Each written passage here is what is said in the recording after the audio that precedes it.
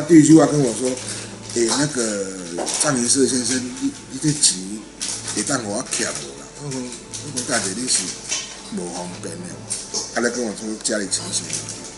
啊，我听完之后说：“无要紧啊，无无李李小姐有事，我帮你处理啦。”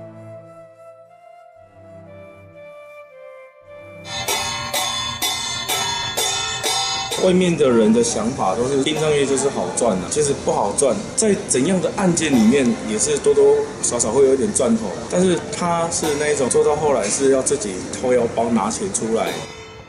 啊，我就觉得说，你开礼仪社，你真的是做身体健康的。在宋清师口中做白工的傻子，就是彰化菩提生命礼仪社的老板石正凯。他的长相完全符合部分民众对殡葬业都是流氓的偏见。伊去边仔甲警察讲啊。伊讲迄迄种上歹人诶，哎，我若叫伊做，伊就要甲我收偌多钱。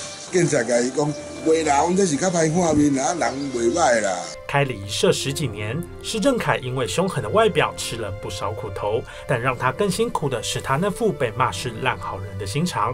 经常接警察的案子，只要发现对方是社会边缘人，就会自愿做功德。他说他跟妈他妈妈相依为命，那时候妈妈八十几，他六十五。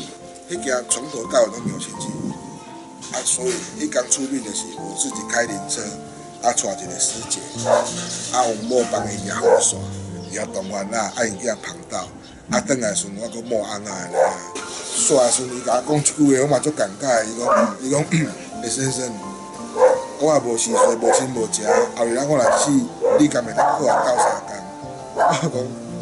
我讲，无要紧啦，有缘来会相拄啦，莫想安做。他知道没钱的痛苦，所以无法撒手不管弱势族群。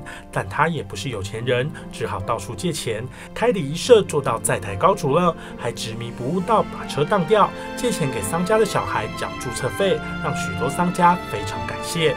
他虽然看起来像像是可疑、像流氓一样，可是他真的他有一颗菩萨的心。